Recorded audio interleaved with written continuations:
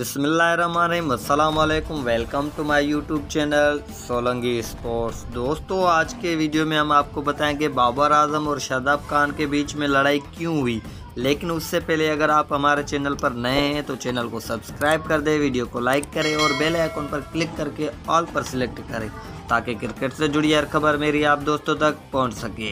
दोस्तों, national stadium में खेला गया मैच इस्लामाबाद यूनाइटेड और कराची किंग्स के दरमियान खेला गया, जिसमें मोहम्मद नबी की एक गेंद पर नो बॉल एम्पायर ने करार दी थी।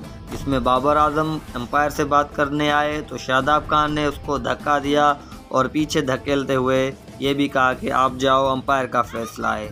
दोस्तों, ये क्रिकेट का माहौल, दोस्ताना माहौल है। ये कोई जंग का मैदान नहीं है जिसमें खिलाड़ी आपस में लड़ रहे हैं। दोस्तों, अगर ये वीडियो हमारी अच्छी लगी हो तो वीडियो को लाइक करें, चैनल को सब्सक्राइब करें और बेल आइकन पर क्लिक करके ऑल पर सिलेक्ट करें ताकि क्रिकेट से जुड़ी हर खबर मेरी आप दोस्तों तक पहुँच सके।